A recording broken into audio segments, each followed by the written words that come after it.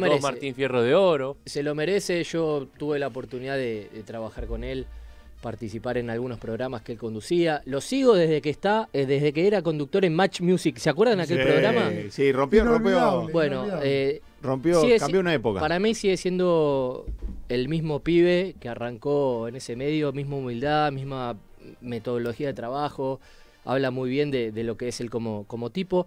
Así que antes de presentarlo, quiero contarles a la gente que la siguiente entrevista la auspician los amigos de Su House, Centro de Medicina Estética Integral. Tiene los mejores tratamientos estéticos de vanguardia, equipo de profesionales altamente capacitados. Podés seguirlos en su cuenta de Instagram en arroba para eh, las redes sociales de su house. Dentro de poco también vamos a estar hablando con uno de los especialistas. Pero ahora vamos a presentar al primer invitado de la noche. Eh, bueno, me salió mejor conductor de, del año pasado por los Martín Fierro, así que no estoy Hace años que es uno de los mejores conductores. Sí, hace años. Por eso del otro lado de la línea saludamos con mucho gusto a Santiago del Moro. Santi, ¿cómo estás? Facu, chicos, ¿cómo andan? ¿Cómo les va? Buenas noches, Santi, ¿todo bien? Bien, che, gusto saludarlos y estar con ustedes en el programa. Así que bueno, aquí estoy para lo que quieran preguntar, listo. Bueno, Santi, primero agradecerte, sabíamos que estabas en una cena, que te acostás temprano, así Sí, que que sí. hayas tomado un ratito para, para estar acá con nosotros se, se agradece un montón. Eh, La verdad que quería estar, Facu, y bueno, conozco mucho a tu viejo y conozco a tu vieja, así que cuando me llamaste, en este momento trato de no dar muchas notas, viste, hasta que no larguemos con el programa, pero a vos no te voy a decir que no, porque más por una cuestión de compañerismo y de familia casi. sí, y recién no sé si, si ya estabas en línea, eh, Sí, estaba sí. contándole a los chicos y acá a los oyentes que sos el mismo pi humilde que arrancó hace Mm. años atrás en Match Music, nunca cambiaste esa esencia, lo cual es difícil hoy en día encontrar en el medio un tipo que siga manteniendo esos valores, esa humildad. Por eso quiero agradecerte primero la nota y después porque, como bien decís vos, con mi familia siempre has tenido un trato increíble. Eh, a mi vieja cuando estabas conduciendo en fama la has tratado de maravilla. Así que también te quiero agradecer en el plano personal. Santi, Te cuento lo que me pasa, Sí. Facu. Eh, yo, yo laburo de esto, como, como ustedes, soy un trabajador de esto, y lo que he trabajado toda mi vida es para que esto no me vuele la cabeza. Este es un medio muy complicado. Eh, yo desde que largué he visto pasar a mucha gente, entonces trato de mantener como mi vida muy tranquila y, y- y el momento de trabajar es el momento de exponerse y de, de poner toda la carne al asador. Pero fuera de eso no, no es que me sigo creciendo el personaje o creo que las luces se prenden en mi casa también. Es como que sé dividir un poco lo que es mi vida de lo que es mi trabajo, que me apasiona, me encanta, pero sé que es mi trabajo y lo hago con total pasión, pero queda ahí. Después mi vida trato de que no me la arrastre el laburo porque si no se confunden las cosas y después te vuela la cabeza, ¿no? ¿y cuál es tu cable a tierra, Santi? Mm. Creo que un poco es, reconocerse uno mismo, es escucharse, obviamente que es la familia, es, seguir siendo una persona simple que responde un poco a la, a, la, a la vida cotidiana, al día a día, ¿no? No, no, por eso, digamos, todo el tiempo tenés gente alrededor que como que si te querés volar un poco, te vuelan los patos, te los ubica eh, rápidamente. Trato de rodearme de esa gente, la gente que de toda mi vida, o compañeros nuevos que voy conociendo, pero pero siempre trabajando desde la esencia y desde y teniendo en cuenta, como te decía recién, que esto es un trabajo, es un laburo, y, y los 20 o los 30 puntos rating no te los llevas a tu casa, quedan ahí, y el otro día más, el día que pase es un día nuevo, está, todo por hacer, y, trabajando siempre desde ahí, ¿no? Pensá que en este momento acabo de ser el programa visto de la tele y tengo el programa número uno de la radio. Si yo me creyera eso, se me vuelve la cabeza, eh, y sería un idiota. Entonces, eh, trato todo el tiempo de decir, bueno, todos los días es un día nuevo, hay que, hay que salir a la cancha a jugar y demostrar lo que valés eh, mientras se puede y el día que no se pueda más no se podrá, pero, pero disfrutándolo básicamente. Santi, hoy sos un conductor consagrado, pero vos la venís remando de hace muchísimos Toda la años. vida, sí, Eh, ¿En qué momento te hizo clic la cabeza y dijiste, quiero ser conductor? Desde que tengo 11 años. Eh, te- te- yo, bueno, vengo, todo el mundo sabe, un pueblito muy chiquito, y de ya ahí a los 11 años empecé a hacer radio. El día que me enteré que iban a poner un FM en mi pueblo, yo me descompuse porque en la FM le iban a hacer unos pibes más grandes. Y los pibes se, aburrieron en el verano y es medio que la alargaron. Entonces a cualquiera le daban un programa. y yo me pegué con mi primo, me acuerdo que nos íbamos de la pileta a hacer radio, y ya desde ahí empecé, nunca más paré, entonces sabía que quería hacer esto. El tema es como yo me venía acá a la ciudad a decir, bueno, quiero ser conductor de televisión, era como muy demasiado zarpado. Y poco a poco fui buscando el momento hasta que un día me instalé en Match afuera, como cualquiera, Faco, como lo hicimos todos, esperar a que te escucharan, a que te den una notita. Viste, uno o dos años estuve haciendo notas como freelance, esas notas que no quería hacer nadie. Y bueno, después tuve mi programa propio cuando uno faltó y siempre estando, ¿viste? Estando y trabajando. Eh, y aparte cuando yo empiezo en Match, ya estaba un poco como en decadencia esta cosa del presentador musical, ya era cuando empezaba todo lo del MP3 y todo, y yo sabía que la industria iba a cambiar, entonces yo hacía cosas medias zarpadas para tratar de llamar la atención, para tratar de irme de ahí, porque yo sabía que si me quedaba presentando videos, eh, iba a pasar como pasaron tantos, ¿viste? Entonces yo quería dar el salto a la televisión de, aire o a la televisión para que para seguir la continuidad de laburo, ¿no? Y bueno, poco a poco fui encontrando mi lugar y, siempre en base, como te decía, mucho trabajo. A mí cuando los pibes muy jóvenes me preguntan un consejo, que no me gusta el consejo porque creo que la experiencia de cada uno es distinta, es la suerte te tiene que encontrar eh, laburando. Eh, a mí una palabra que me gusta mucho que es acción, trabajar. Eh, respeto todos los trabajos, viste, yo he hecho todos los laburos en esto y no hay trabajos chicos o grandes, está en uno cómo lo hace. tengas un programa de radio y le hables a, dos personas o le hables a dos millones, no importa tu compromiso es el mismo. Hagas un programa de rating de, de tele que pide un punto o comida 20 es lo mismo. Es la dedicación al, trabajo, el respeto al laburo. Se te escucha que es una vocación de toda tu vida. Imagino mm. que tal vez eh, fue potenciado o fue influenciado por algún referente que tenías vos de pequeño, que veías y te, te, interesaba cómo trabajaba en los medios, o, o simplemente fue algo muy propio tuyo y que surgió de vos. Mira, creo que el, admirar mucho a alguien termina siendo como un problema porque la imitación es suicidio. Imitar a alguien te termina fagocitando. El conductor lo que tiene que encontrar es, hablar desde un poco trabajar sobre vos para empezar a marcar un estilo. Los grandes conductores tienen un estilo propio. ¿Te puede gustar o no? Obviamente que todos hemos sido influidos por todos los conductores geniales que hemos tenido toda la vida.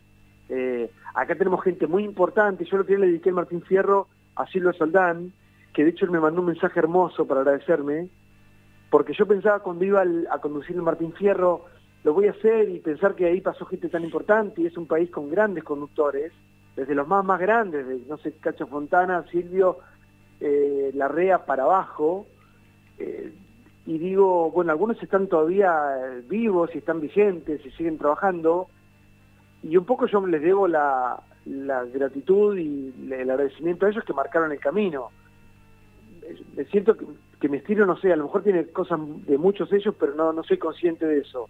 Nunca imité a nadie, me parece que los grandes conductores que te estás como formando toda la vida, no nunca se recibe de conductor. Eh, es, cada año te va dando mucho más aplomo y cada programa que vas haciendo, y trato que cada programa que hago le, imprima lo mío y después cuando es que ya pasó lo, lo suelto porque creo que no tengo nada más para aportarle pero creo que cada uno es como que se va descubriendo y seguramente inconscientemente tienes cosas de muchos, ¿no? Mm. Santi, bueno, primero felicitarte porque la conducción de los Martín Fierro la, hiciste espectacular. De hecho, te voy a contar un secretito, no sé si lo, si lo sabías. Estuviste a pocos votos de llevarte el de oro. A pocos. Era, sí. Gracias, Facu. A nada. Eh, la verdad, para mí te lo merecías. Eh, no puedo decir mi voto, pero mi voto para el de oro fuiste vos. Eh, bueno, lo dijo. Menos mal que no podía. Ya está, ya pasó, ya los dimos. Eh, ya pasó. Pero te tocó vivir una situación rara dentro de lo que es la, entrega de premios, que fue el empate en una terna. Primero déjame que te cuente un poco cómo fue el de Martín Fierro, porque yo Martín Fierro no lo iba a hacer. y por varias cosas que pasaron terminé haciéndolo yo y el canal está bueno porque el canal me lo ofrece directamente a mí solo. A mí me cuesta mucho co-conducir.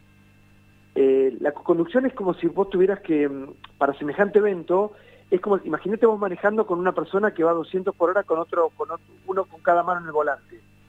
Difícil. difícil. Es, muy difícil, porque uno sabe, digamos, es una ceremonia que dura cuatro horas y media, eh, la tenés que ir llevando, uno, uno cuando es conductor vas como manejando los, los climas, sabes cuándo apurar, sabes cuándo no, sabes cómo, cómo meter cada, cada momento. Eh, bueno, es como trabajé toda la vida yo, no, no sabría hacer otra cosa. El calma me ofrece hacerlo y, y creo que nos salieron todas. Martín Fierro este salió todo, todo bien. Eh, viste que en vivo te puede salir todo, no te puede salir nada. Y la verdad que este Martín Fierro fue un Martín Fierro, salió todo. Eh, y en un momento me dicen, antes de salir, cinco minutos antes, me, dice el productor, mira, hay una posibilidad que eh, un empate. ¿Cómo un empate? Le digo. Aparte cinco minutos antes, sí, me dice, no te preocupes si vos ves que hay dos nombres de ganadores, eh, llamalo Aventura. Cuando pase eso. Listo, me fui con esa premisa, en un momento cuando veo dos nombres, Ventura dónde está, su Ventura, dice quién es el ganador y listo. Lo que pasó es que la ficción empató. La ficción fue uno de los últimos premios y a medida que va pasando la hora, la gente se va poniendo cada vez más borracha, que yo no sabía eso. Estando sobrio, viste, sin chupar nada, sin tomar nada, en una fiesta que el 80% de la gente empieza a tomar, claro, cuando pasa una, dos, tres, cuatro horas, la gente ya está un poco más arriba, más está picada un poquito, claro. Y cuando empatan las ficciones yo veo que vienen 14 de un lado y 34 de otro. Yo decía, ¿cómo hago para que hablen rápido todo esto? Pues ya era la una y pico de la mañana. Pero bueno, salió todo y salió bien, qué sé yo. Creo que el año que viene tendría que empezar una, hora más temprano la transmisión. Mm.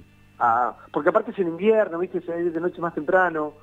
Y, pero creo que el premio de oro y todo eso tenía que ser a la medianoche, no a la una y media de la mañana. Pasa, muy tarde. A mí me parece que, se estiró un poco porque justamente también los premios estaban yendo bien y estaban midiendo mucho. Creo que se estiró también. No, no, el rating es una locura, pero el rating va a medir lo mismo de siempre. Creo que si hubiéramos ido una hora antes, eh, hubiera medido arriba de 26, 27 puntos. Igual promedió casi 24 puntos promedio, picos de 27 y pico, casi 28, una locura. Una locura para tantas horas de transmisión aparte. Y para los tiempos que corren, ¿no, Santi? Que hoy en día la tele... Sí, no, no, no, no, no, no. No, sí, sí, no existe. Bueno, pasaste de, tus comienzos en un programa donde eras joven, eh, ibas a, mm. a cagarte de risa, digamos, ¿no? Porque nosotros consumíamos ese programa, a conducir los Martín Fierro, tocar temas mm. serios como son los, los homenajes a los fallecidos. ¿Cómo era una producción del programa en Mike Music? Match en ese momento, imagínate que mm, yo entro a trabajar primero como freelance, pero mi primer programa propio lo tuve ese primer programa que me dieron a mí, un horario, lo tuve en el 2001, con toda la crisis 2001-2002. Entonces éramos muy enojados con el, con el mundo y era un poco la, sátira, lo de Machi era un poco la crítica al, sistema de ese momento. Nosotros hacíamos, supuesto, los chicos de escalera a la nada. En ese momento estaba el reality show de canto, que era escalera a la fama, sí. y nosotros hacíamos escalera a la, a la nada. Eh, eh, estaban las mandanas y los mambrú y nosotros hacíamos los chicos de membrana, mitad mambrú, mitad bandana, y era como una sátira eso. Todo era como la contracultura, era el enojo de, lo que era ser joven en un momento que el país explotaba y todo el mundo se iba. Eh, me acuerdo que cuando yo entré a trabajar la primera temporada que me toca hacer es, en ese verano, 2001-2002, y nos, fuimos con tres monedas distintas a la costa. Entonces vos parados en los peajes y no sabías si pagar con Lecop, con patacones, con... todo era un caos. Una locura. Y creo que era un fruto de ese caos, salió un poco ese canal en ese momento, y era una escuela de televisión, porque yo hacía diariamente cuatro horas por día de vivo. Mm. Eh, entonces me dio un training de, ya de entrada muy bueno. ¿Preparás distinto los programas? Porque has estado en programa de entretenimiento, de noticias. ¿Se prepara distinto o, no? Sí, el conductor tiene que llevar las riendas del programa. Nunca te puede ganar el programa. Eh, y lo que busco mucho cuando hago mis programas es que se luzca mucho la gente que tengo al lado. A mí me interesa que la gente que viene al programa tenga su momento, que, se pueda desarrollar. A algunos les sale más, a otros menos. Y obviamente que cada programa tiene su tono. Yo lo encuentro, no sé, a, través, no sé, desde la ropa que me voy a poner, desde la música que elijo para entrar, o, digamos, yo voy buscando, eh, no sé, diferentes cosas que a mí me ayudan a trabajar. Hay otros conductores que no les importa nada, ni la ropa que se van a poner, ni la música, ni eh, yo trabajo con Emil de la manera que me ayuda. ¿Te gusta involucrarte con el entorno del programa? Sí, sí, sí, sí, sí, con todo. Santiago. Por, lo menos, aparte, aunque no lo quiera, entro al estudio y me doy cuenta, solo como mirar me doy cuenta cómo están las luces, dónde ver la gente, bien puestas las cámaras. A mí me consta porque he compartido programa Infama, fui un par de veces que estabas vos de conductor y doy fe de que sos un conductor muy generoso. Por eso te quería preguntar, esta semana se dio una, esta semana no, la anterior se dio una situación media incómoda entre el negro González Oro y Cintia Fernández. Mm. Eh, ¿Estuvo bien el negro en marcar territorio? ¿Estuvo mal Cintia? Mirá, eh, Facu, si te, si te digo te miento porque no lo vi. Eh, igual, viste, qué sé yo, debe ser muy difícil ir a conducir un programa que, que, que, es de otro. Pero no, no lo sé. Eh, con el negro nunca nunca trabajé y a bueno, Cintia la conozco y me Cintia parece que es una panelista espectacular. Eh, a mí me gusta tener en el panel gente que, proponga. Eh, y Cintia propone todo el tiempo, ¿viste? ¿Qué sé yo? En su momento yo me acuerdo cuando tenía Brancatelli en, en, en, en, Intratables. Y era un fenómeno, ¿viste? Con, como disparador. Después hay gente que le puede gustar, hay gente que no, pero vos cuando tenés gente que trabaja en el panel, que son compañeros tuyos, ¿viste? La palabra panelista por ahí puede ser más despectiva, pero por esta gente que, que, cuando cuando vos abrís el juego, gente que, que, proponga cosas, proponga jugar.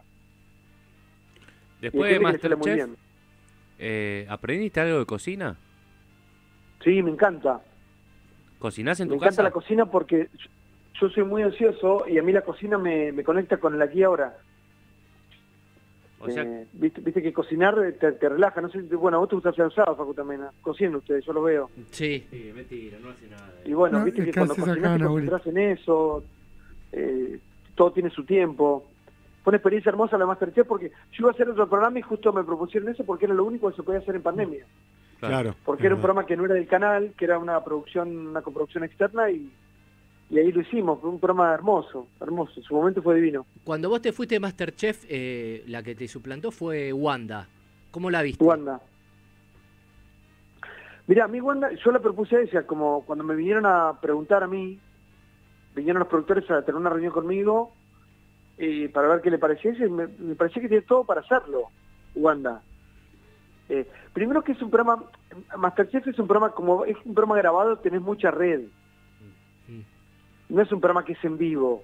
Eh, entonces, digamos, para dar como tus primeros pasos está bueno, porque podés probar distintas cosas que, que si salen mal te, lo van, te van a contener. Y me parece que eso estuvo muy bien. ¿Y en el Gran Hermano cómo te viste? Gran Hermano, por lo menos el, Gran Hermano, yo les cuento un poco cómo fue la, historia con Gran Hermano, que por ahí muy poca gente la sabe. Gran Hermano era un programa que, que había sido muy popular, un programa muy importante, que le fue muy bien en su momento en Telefe, después le fue muy mal en Telefe, por eso se fue de Telefe. Después tuvo su momento que le fue muy bien en América, pero es un programa que ante el mercado quedó muy lastimado. Eh, es decir, los auspiciantes, la gente que ponía plata, es un programa muy caro de hacer, cuestan miles, miles, miles de millones porque es un programa que tienes dos estudios y hay un estudio que no, para nunca de trabajar. Vos necesitas armar tres equipos para funcionar las 24 horas durante los 5 o 6 meses que el programa. Mm. Imagínate lo que son los costos de ese programa. Mucha gente trabajando, claro. Porque tenés horas extras, tenés fin de semana, tenés periodo, tenés todo, todo de, corrida hasta que termina. Entonces, eh, cuando se evaluó ese gran hermano, que se empezó a trabajar un año y medio antes que salga, eh, no daban los números, no daban los números, no daban los números, porque los suficientes no querían poner plata, básicamente. Entonces nos reunimos y yo me fui a unas convenciones de, de agencia de policía que hay, que el evento se hizo en las cataratas el año pasado, a decirle a los clientes que confiaran que iba a ser un programa que no iba a pasar. Ellos no querían no querían quilombos arengados de la afuera, no querían gente trepándose por los, por los, por los tapiales y escapándose, no querían esa cosa más trash que siempre tuvo Gran Hermano, por eso los, los oficiantes huían, ¿no? Entonces, bueno, yo le dije, vamos a hacer un programa, digamos, totalmente respetando las reglas, un programa que, que, que se iba a relanzar, que confiaran en nosotros, qué sé yo poco a poco empezaron a venir a tal punto que terminamos con lista de espera de oficiantes, por, por el éxito que fue. Pero mucha gente la crítica que recibiera porque yo no lo picaba más. Imagínate puede haber hecho infame, intratarle, lo que menos me cuesta en la vida es picarla. Claro. En dos minutos hago que se maten si quiero. Pero no era, no era el gran hermano que queríamos contar, es decir, todo lo que pasara dentro de la casa era válido, pero desde la afuera quería proteger a la casa. Es decir, yo les decía a los chicos, yo traté a la casa como me hubiera gustado que me trataran a mí. Lo que traté de contenerlo, de ser lo más justo que, que, pude ser, eh, pensé que dentro había una mamá con tres chiquitas chiquitas y se quedó todo el certamen. Eso habla de que era una casa muy contenida. Obviamente ellos sabían todo el tiempo que tenían la puerta que no se quería, que no quería estar, se podía ir. Pero desde la afuera yo no fui a, a, destruirlos, ¿viste? Mm. Porque si ellos tienen mucho, mucho desde la adentro para, para, para sobrevivir ahí al juego. De hecho, es un juego muy difícil porque chicos están completamente aislados. Yo estuve un ratito, dos veces, y perdí la noción de tiempo y espacio ahí. Aprovechamos para contarle a Santi que hay muchos mensajes de seguidores y de oyentes mm. que nos pueden seguir mandando al 11 22 62 7728 y uno muy especial de la señora Estela Maris Muñoz que dice, hermoso Santi, gracias por ser como sos, beso enorme. Estelita, un beso, un beso. Bueno, Estelita es una gran panelista de la televisión, no sé qué, qué, no, qué hace que no está laburando ahora. Eh, está, estamos en tratativas. estamos en tratativas. Pero vos siempre la viste con un ojo distinto, Santi. ¿eh? Yo me acuerdo en aquella época de infama, cada vez que iba Estelita tenías como un ojo particular para con ella. Lo que pasa es que ella tiene, tiene, Estelita tiene una cosa muy importante que es poder de síntesis. Claro. Y es una mujer que dispara cuando habla y los dice de un lugar que, viste, no sé, es picante, picante, garpa siempre cuando va. Ella lo sabe igual, sabe jugar el juego. Sí, está, no, la agrandé, no la agrandé, porque va a estar insoportable. No, que mañana, mañana no hace la comida, no, no, va, no va a querer levantarse la cama, no va a estar muy agrandada. Buena, buena para el juego, digamos, tiene una lengua muy picante eh, y aparte tiene esa cosa de... A mí me gustaba ella porque es como que es esa señora de, de, orgullosamente eh, ama de casa, pero orgullosa. Cuando digo ama de casa no es para bajar el precio, al contrario, ¿eh? No, ella no, es, feliz. Le gusta claro, le gusta ese rol, pero lo lleva con una altura eh, que no lo padece, entonces está bueno eso. Y habla desde ese lugar y ella tiene verdad, ¿viste? Cuando habla. Después te puede, estar de acuerdo o no, ¿eh? Pero ella lo dice desde un lugar genuino. Santi, volviendo al gran hermano, eh, mm. ¿considerás que está bien que haya ganado Marcos o vos tenías otro candidato? Es que el, Marcos no es que ganó Facu, Marcos eh, fue robó la final, digamos, fue de los 8 millones creo y pico y medio de votos que, hubo para los tres, él tuvo creo que 5 millones. Eh, así que contra eso no se discute nunca. Eh, para mí Marcos lo que tuvo es que la gente, y yo celebro que la gente haya premiado eso, porque la verdad que es un pibe con unos valores que no estaba actuando. Nadie puede fingir y actuar mucho tiempo ahí. Eh, las, esas cámaras te desnudan. ¿Cuánto puedes mentirle a una cámara vos? es, muy difícil. Y él es así, la gente lo premió y es el ganador nato, absoluto. ¿Cómo lo ves con Julieta? ¿Hay chispa ahí? ¿Hay chance de que haya romance yo, creo que están, ¿no? Yo creo que están, creo que están. Ella lo niega. Mira, yo le doy una visita al, al, streaming de los chicos, así que en cualquier momento te voy a tener más data fresca, pero para mí, por lo que viene el Martín Fierro, eh, restan. Y, y, la pareja me encanta, y la gente que yo estoy con él chipeando desde que le largaron, y con respecto al ex de, Julieta, ¿qué, ¿qué opinas? O sea, ¿el tipo eh, la quiere o, aprovecha esta volteada para ganar un algo de fama? El pibe, no, el pibe cuando, cuando estaba ahí se lo vio enamorado y es más, un día yo le pedí disculpas públicamente porque le dije, la verdad que todos estamos que linda pareja con Marco y, la pibe está hablando de vos y vos estos son el novio, te pido perdón. Y en su momento creo que fue un gran amor de ella. Pero bueno, son jóvenes, qué sé yo, se gustan, están eh, que hagan lo que sientan, para mí está todo bien, mientras estén todos de acuerdo y la pasen bárbaro, pásenla genial. ¿Por qué el mensaje que... yo le mandé fue este, chicos, pásenla genial, diviértanse. ¿Por qué crees que los realities, el hermano, Masterchef, que todos los condujiste vos, son los, los más exitosos en la televisión de hoy? Eh, ¿Por qué crees que pasa eso? El, cuanto a, mi trabajo, no, eh, es un poco de, trabajo, dedicación, esfuerzo, suerte también, un factor suerte muy, muy importante. Y uno siempre quiere que le vaya bárbaro, y a veces lo logra y a veces no. creo que el, el, Masterchef fue el momento indicado, porque era el momento de la pandemia y todo el mundo cocinaba, y fue un programa que hicimos con mucho, mucho... Usted no sabe las horas que pasas para grabar Masterchef. Son ocho horas, nueve horas para grabar una hora de programa. Nueve horas para un solo Y después Gran Hermano era una incógnita. Gran Hermano esperábamos un éxito, no tanto. No tanto. Lo de Gran Hermano, chicos, fue gigante a, un nivel de que vinieron de, la Paramount de Estados Unidos a ver qué pasaba con Pluto acá, en Latinoamérica. Fue la aplicación más bajada en, Sudamérica durante cinco meses. ¿Consideras que fue el mejor eh, Gran Hermano de la historia?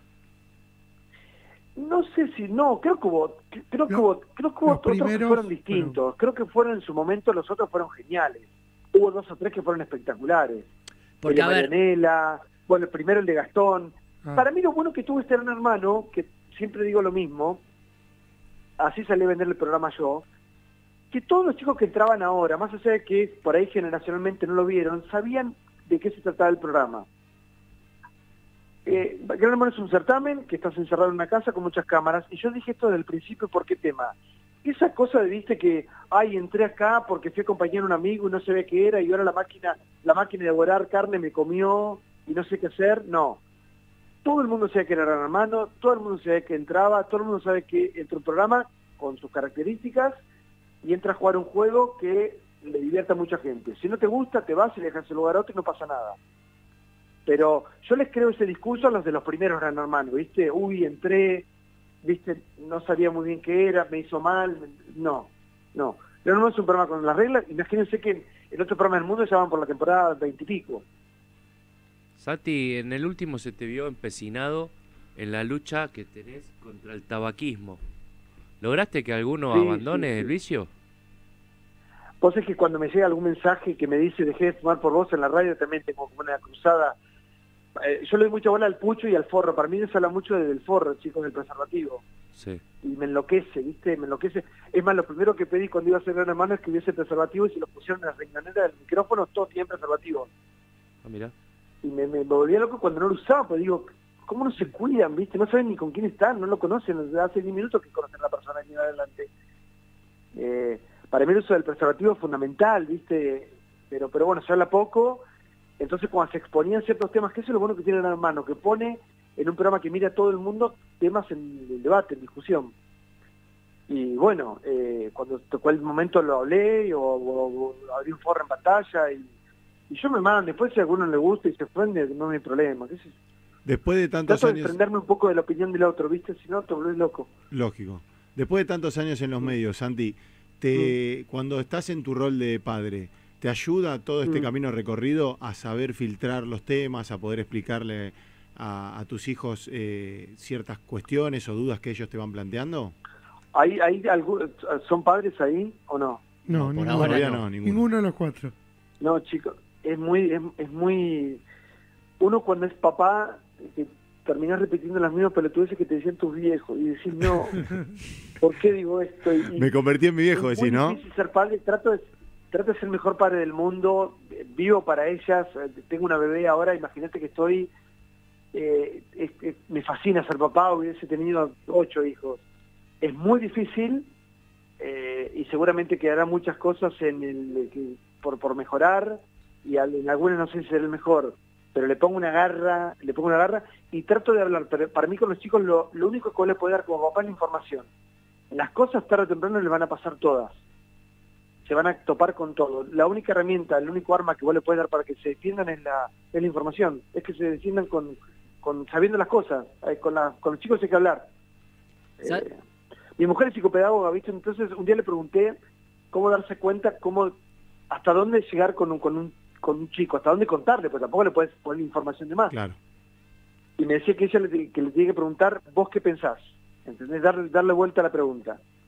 Entonces ahí un poco te habilita el, juego a ver hasta dónde uno puede hablar, ¿no? Lógico. Santi, ¿y cerraste la fábrica o en algún momento tenés ganas de, sumar un, cuarto? No, no, no, acá me sacan cagando. No, ¿Y varón no te gustaría un varoncito? Mira, uno cuando quiere ser papá, vos querés ser papá, te juro que cuando llegas al momento del análisis y todo, lo único que te crees que, que te diga que está todo bien. Eh, y me tocaron tres mujeres, qué sé yo, no sé, creo que soy un gran padre de mujeres, me hubiera encantado tener un, pibe, pero bueno, hubiese competido conmigo, conmigo así que ahora sigue, sigo siendo el, rey. Pero sí, por momentos necesito hablar de otras cosas, ¿viste? Y, pero bueno, nada, es lo que me tocó y soy feliz. ¿Realizan alguna actividad las nenas? hacen todo, no, están, sí, todo, no paran. Bueno, como vos, deporte, baile, básicamente como vos, son hijas tuyas. Todo, todo, todo, todo. Pero aparte viste que los pibes de hoy tienen esa, esa, voracidad para hacer todo. Sí. Eh, que con nosotros éramos chiquitos lo mismo, pero pero por ahí eran más, se condicionaban más. Eh, ahora están tan estimulados con tanta información que andan dando vuelta que quieren hacer cosas artísticas, quieren hacer 10 deportes, quieren hacer, sí, no les alcanza el día. ¿Te gustaría que forman formen parte de los medios, qué sé yo, el día de mañana entren a un gran hermano o a otro reality o al bailando? No, creo que uno, uno tiene que descubrir en la vida qué es lo de uno. Eh, no sé si si yo hubiese hecho lo que hacía mi papá, me hubiese quedado en el campo trabajando. Y yo quería hacer esto, nada que ver. Eh, cuando, cuando uno descubre cuál es el camino, cuando uno descubre por dónde, es todo más fácil. Eh, uno tiene que descubrir, por eso hay que trabajar con, los chicos cuando uno es muy pendejo, para decir, bueno, a mí me gusta esto, pero no por moda o porque está, no, porque uno lo siente, uno sea esto, sea, no sé, pintar cuadros o ser, no sé, camionero o pisero, lo que te guste. O sea que si ellas el día de mañana eligen estar dentro de los medios, vos no tendrías problema, las apoyarías al 100%. No, no, no, no creo, que se tiene que dar naturalmente. No porque yo hago esto, tienen que hacer esto, no, no. Y te levantaba muy muy temprano, era cinco y media, eh, arranca tu programa de radio. Siempre cargaban en, en gran mano. Sí, es terrible. ¿A qué hora arrancas, Santi? ¿Cuándo, te ¿Cuándo dormís? Porque la verdad es... Cinco y cuarto. La vida para los que hacemos la primera mañana de la radio tiene que ser... O, tenés que ser muy ordenado. Milimétrica, ¿no? Yo tengo una... Sí. Es más, el único día como de joda que yo tengo es viernes y sábado. Pero después yo no puedo salir de un domingo, de un martes, yo tengo que tener la vida muy ordenada. Y cuando Gran Hermano, que termino a la una, tengo que dormir esas cuatro horas y después eh, tengo que dormir una siesta religiosa de dos o ah. tres horas más, pero, pero tiene que ser todo muy bien. Entreno todos los días, eh, porque aparte este gran mano que hicimos fue la primera vez en el mundo que se hacía en tira, es decir, diariamente. Siempre Gran Hermano son dos galas por semana en todas partes. Nosotros elegimos contarlo a manera de, de tira, entonces era otro, otro, digamos, cada programa era distinto, porque no tiene nada que ver las galas con los debates, digamos, son cosas completamente diferentes. Eh, entonces fue, digamos, físicamente te, demanda, para hacer una mano tenés que estar muy bien de la cabeza, muy bien físicamente, muy bien en tu casa, porque es un programa que es un tsunami, te arrastra. Los únicos días libres, entonces... cualquier palabra como diga de más o de menos te van a odiar, o te van a amar, o te van a penetrar, ¿entendés? Todos los días es como estás en el foco del debate porque levanta muchas pasiones, moviliza muchas pasiones. ¿Vas a volver a conducirlo? Sí, sí, si Dios quiere, sí. sí. ¿Ya has tenido charlas o, es un deseo Mira, dentro de poquito arrancan los, la, empiezan a llamar para los castings, digamos, se anotaron 100.000 personas hasta el momento y van a empezar a llamar algunos en, próximamente. Mi reunión ya la tengo fin de la semana que viene, así que ya, le empezaremos a dar forma eh, a lo que va a ser todo y en los próximos, yo creo que en los próximos 15, 20 días yo voy a estar anunciando ya la fecha. Y los chicos que quedaron ahora en el bailando, que mm. los tuviste vos en el Gran Hermano, ¿a, cuál lo ves eh, firme como para hacer un buen papel en el bailando? Mira, creo que cada uno que entra a Gran Hermano entra por motivos diferentes. Y no porque entres a Gran Hermano te tenés que dedicar a esto. Porque hay gente que entra por una experiencia personal y es válido también. Y hay gente que lo usa como trampolín y también es válido. A mí cuando me preguntan a cuál le ves futuro, a cuál no, creo que eso eh, simplemente esperar el tiempo decanta. Paco, vos sabes cómo es esto. Esto es como un gran colador, un gran tamiz. Y queda la gente que se sostiene por algo. Eh, pero eh, hayas estado en Gran Hermano o hayas entrado por un casting en cualquier lado, eh, o hayas trabajado en cualquier programa para, para arrancar como empezamos todos. en la televisión está la gente que funciona, porque es un negocio y tiene que funcionar. Y el paso del tiempo va sacando algunos, deja otros, salen nuevos. Así que hay que esperar. Santi, si tuviera que volver un gran hermano famosos, ¿cuál pensás que no puede faltar adentro de esa casa? ¿Quién no puede faltar? Sí. Y yo haría una mezcla de todo. Yo pondría algún político, alguno que pierda ahora en las elecciones. es genial. Para que sea la Cualquiera de estos otros de estos que andan dando vueltas. Al que pierda. Con algunos mediáticos, con algunos mediáticos de toda la vida. Pondría gente también de, no sé. Para mí la, lo, lo lo lindo que tienen hermanos cuando se hacen como capas de, generaciones, de, ondas, de estilos, que lo que tuvo este gran hermano nuestro, viste que había gente más grande también, entonces la gente más grande le da otra contención a los pibes, los chicos le aportan otra cosa. Eh, me parece que lo que tiene gran hermano, o lo que tiene que funcionar, más allá que sean famosos o no, es tiene que haber gente que venga de diferentes palos, si no es muy aburrido. Que para mí lo que pasaba antes en Gran Hermanos es que eran eran como casi todos del mismo perfil los chicos. Sí. típico participante real, y viste el, chico que quería ser famoso, entrar gratis a un boliche. Eh, eso tiene que ir acompañado como otra cosa para que sea más, más, más rico, me parece, ¿no? ¿Tuvieron mucho que ver las redes sociales en el éxito de, Gran Hermano? Creo que todo tiene que ver con, con... Semejante éxito es un todo. Sí, obviamente que las redes sociales son fundamentales, pero también hay programas que les van muy bien a las redes sociales y después en rating no pasa nada. Eh, pero obviamente que, acompaña que, que sean fuertes en un lado y, en otro. ¿Viste? Lo bueno es cuando se da todo. Que se arme esa gran bola de nieve que es imparable. Recién mencionaste que te gustaría ver un político capaz en Gran Hermano, y este año es un año de elecciones. Nosotros nos queremos focalizar en una elección en particular y teniendo en cuenta que en el programa anterior surgió una nueva fórmula, que no sé qué te parece Santi, me gustaría que vos nos, nos des tu opinión, eh, la fórmula Polino Ventura, Ventura Facundo, estamos hablando, parece que quieren destronar al padre. ¿Cómo para, la Aptra. Sí, para, Aptra. Me encanta. ¿La ves con, con, potencia? ¿La ves que puede llegar a conseguir votos? No, para mí, para, para mí, para lo, de Ventura, para mí la genialidad que tuvo Ventura en el Martín Fierro, primero que le hizo rentable a Aptra, y dividir el Martín Fierro de radio fue genial, porque los que hacemos radio necesitamos nuestra fiesta, porque es muy importante para la gente de radio. Y viste, siempre estaba como un, costadito. Eran como los, los, dejados de lado en la, en la, televisión de la, de la televisión, ¿no? Y, bueno, no sé si será aventura a fin de año, Facu. ¿Se va tu viejo o no? Y mirá, no, no tiene muchas ganas de seguir, pero me parece que está haciéndose desear Yo creo que él, tiene que seguir por, la garra que le pone a, Aptra, porque ha sacado a flote una entidad que, que la verdad venía bastante decaída. Y todo el mundo dice que, que, bueno, que sacando tantos Martín Fierro está como bastardeando el premio, y yo creo que es todo lo mm. contrario, porque Martín Fierro que hay, Martín Fierro que todo el mundo quiere estar, todo el mundo quiere ganar, todo el mundo quiere estar ternado, así que eh, para mí es súper positivo que hagan esto y justamente por lo que marcás vos.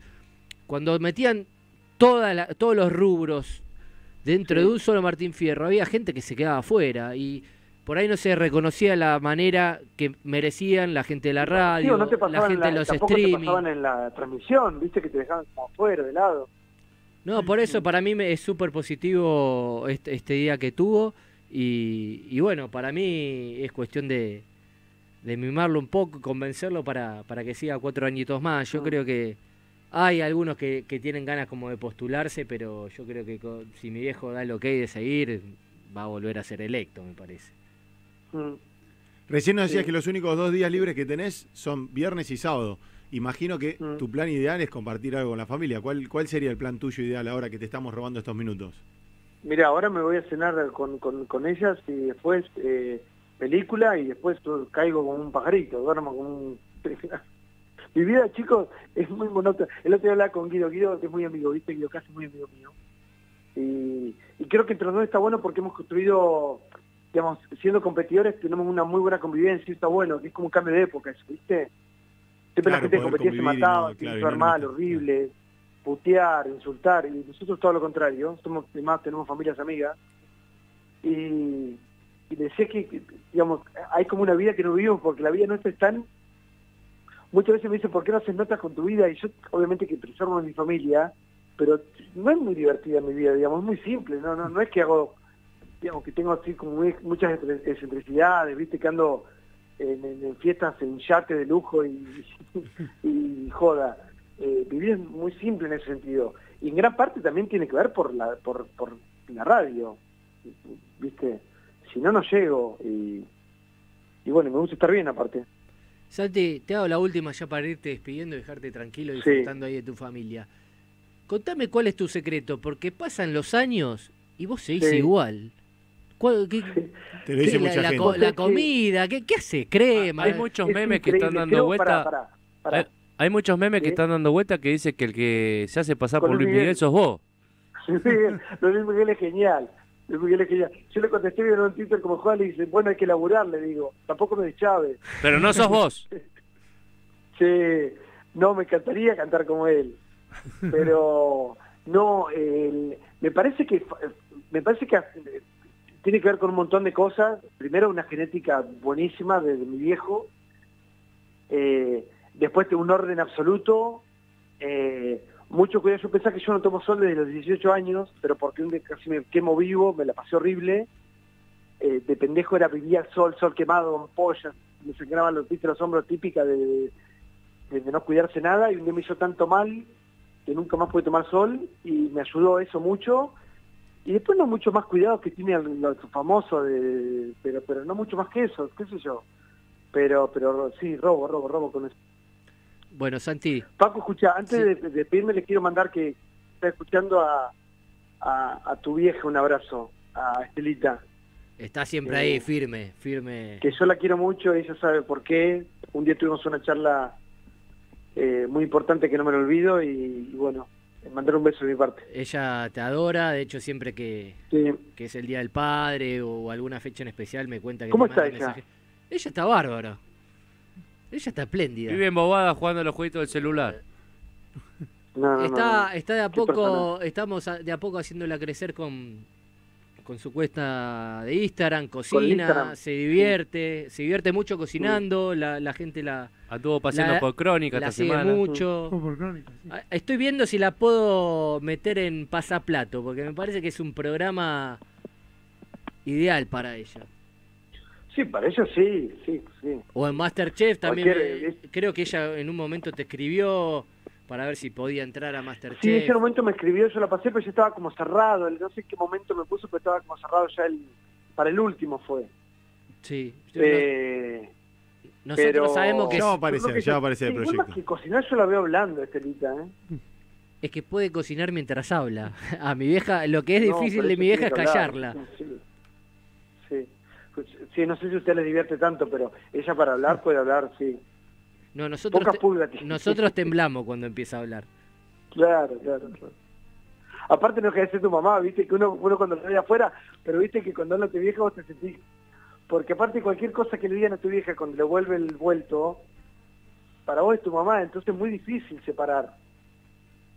Y pasa que uno, imagínate, nosotros nos criamos con todo esto, así que ya estamos curtidos.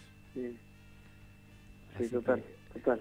Bueno, Santi, muchas gracias. No te robamos ¿eh? más tiempo. Bueno, les mando un beso y buen fin de semana. igualmente, abrazo grande y gracias. Besos, chicos, chau. Bueno, Notón, bueno, ¿eh? Notón con Santi del Moro, eh, un crack. Sí. Un crack que Hoy en día el más versátil de todos los conductores. Puede conseguir es un dura este tipo.